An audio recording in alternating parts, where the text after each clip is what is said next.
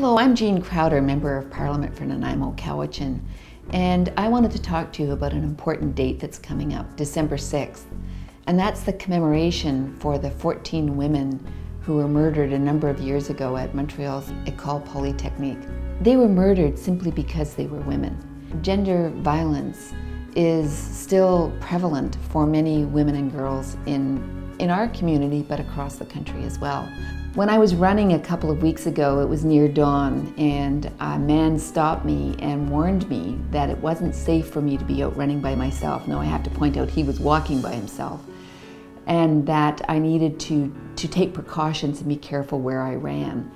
And it brought me back to the fact that violence against women and children is simply not going away.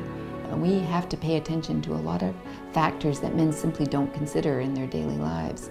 And so that also led me to making a statement in Parliament. I talked about the 16 days of activism against gender violence uh, with the Purple Light campaign that's happening here in the Cowichan Valley. It's a made in Cowichan response to the levels of violence against women and girls in our community. And it invites people to hang these purple lights in their homes, business windows, downtown trees to show support that gender violence has no place in our community. Over a thousand women access Cowichan Women Against Violence Society services each year.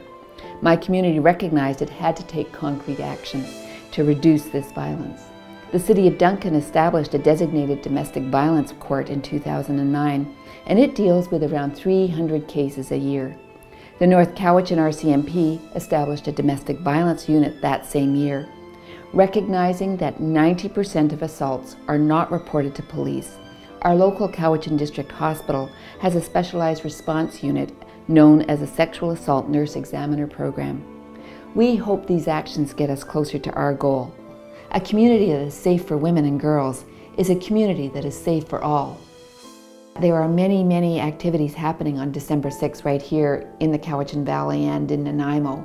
And I listed below a number of those activities, and I'm really hoping that you can show your support for women and girls in our community by participating, and also by taking the time to hang those purple lights.